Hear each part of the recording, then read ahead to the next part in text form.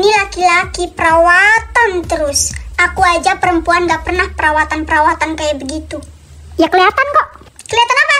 Ya kelihatan kalau kamu gak pernah perawatan.